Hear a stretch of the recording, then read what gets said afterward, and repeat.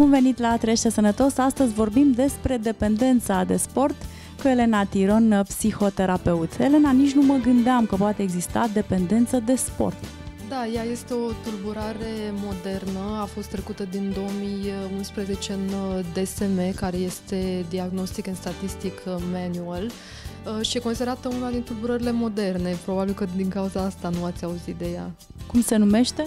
Bigorexie vine de la big, uh, tendința bărbaților de a deveni cât mai mari.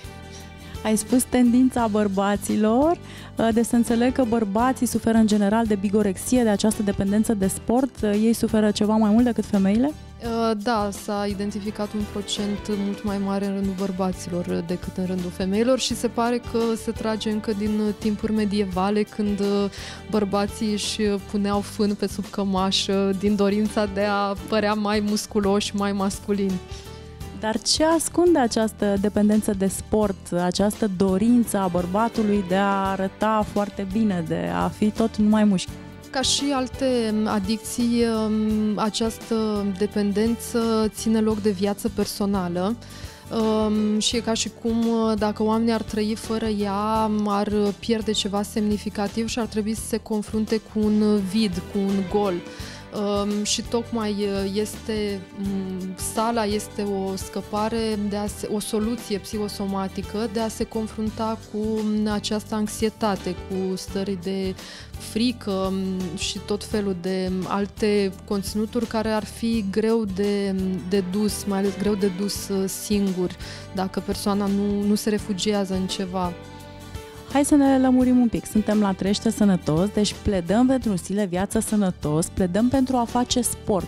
Uh, cum ne dăm seama, Elena, că depășim această graniță a binelui, a normalului și că picăm în partea cealaltă a graniței, în bigorexie, în această dependență de sport?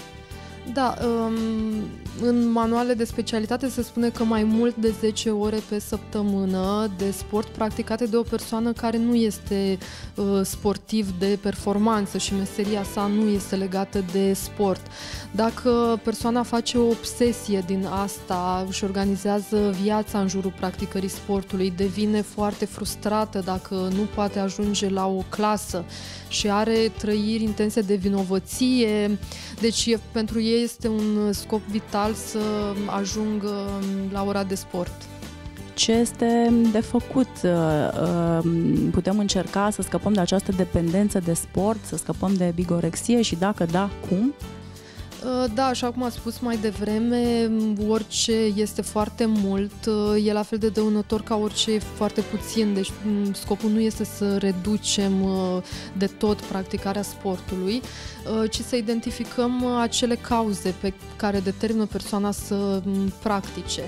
Um, ce este de făcut? Sunt de pus niște întrebări și anume ce stimă de sine are persoana, um, cum își percepe imaginea corporală, corporală, cum a fost influențată de un ideal feminin și masculin, bărbații cât mai musculoși, iar femeile cât mai slabe, dacă începe să consume steroizi sau uh, proteine um, și începe să reducă alimentele cu un conținut ridicat de grăsimi.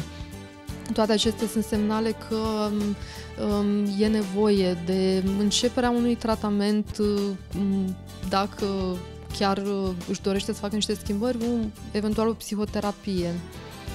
Deci uh, să apeleze cumva la um, ajutorul specialistului în încercarea de a mai reduce un pic din orele de sport, dar uh, nu de tot. Nivelul de anxietate este vorba de a reduce, de a identifica acele cauze, pentru că persoana are o motivație, motivația e la nivelul Um, de a se simți admirat, uh, de a fi dorit, de a fi apreciat și implicit vorbim de un deficit la nivelul acesta.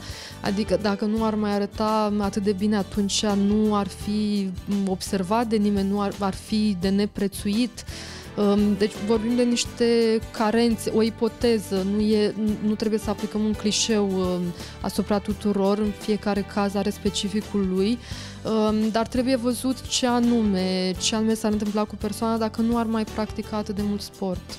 Iată, foarte interesant. Astăzi am aflat uh, sfaturi utile pentru cei care fac foarte, foarte mult sport. Atenție să nu căpătați această dependență de sport uh, bigorexie. Uh, rămâi cu noi la Trăiește Sănătos, avem multe să-ți povestim și să învățăm împreună.